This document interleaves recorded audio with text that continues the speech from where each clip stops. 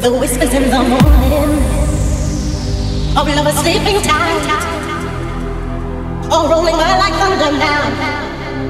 As I look into your eyes, I hold on to your body and feel each move you make. Your voice warm and tender, love.